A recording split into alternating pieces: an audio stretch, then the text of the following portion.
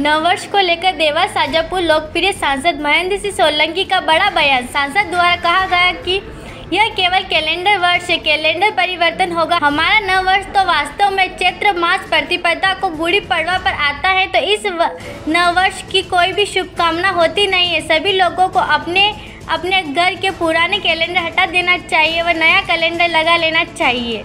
ये केवल कैलेंडर वर्ष है और कैलेंडर परिवर्तन होगा। नव हमारा नव वर्ष तो वास्तव में वर्ष प्रतिपदा पर आता है, गुड़ी पड़वा के दिन आता है तो इस नव वर्ष की ऐसी कोई विशेष शुभकामनाएँ होती नहीं है, केवल कैलेंडर परिवर्तन होता है। सभी लोगों को अपने अपने घर पे जो पुराने कैलेंडर है, उसे हटा देना चाहिए और नया कैलेंडर लाना चाहिए। देवास से अभिषेक सोनी की रिपोर्ट।